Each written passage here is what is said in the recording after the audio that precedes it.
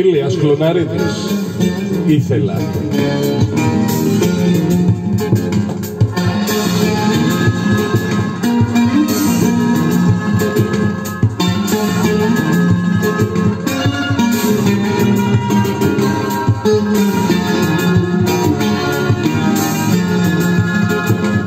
Ήθελα να ανοίξω την καρδιά μου που κλεισμένη χρόνια την κρατώ.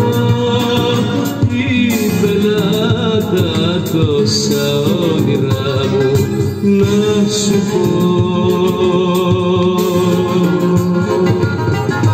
Μαζί δεν ρωτάς και με απογιάσα το κουρέλι την καρδιά μου πετάς Κι εγώ που σ' αγαπώ βαθιά στα στήθια φυλαχτώ την αγάπη κρατώ Κι ήθελα τα τόσα όνειρά μου να σου πω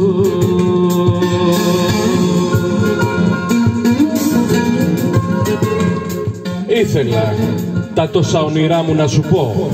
Ηλίας Κλωναρίδης και Ραδιομάδερ.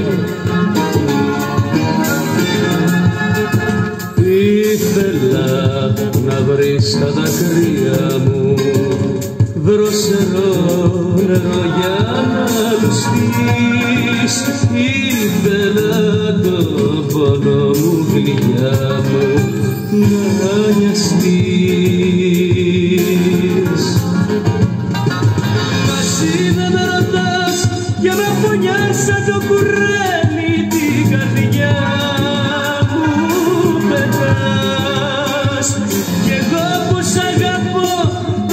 στα στήθια φυλαχτώ την αγάπη κρατώ Κι ήθελα τα τόσα όνειρά μου να σου πω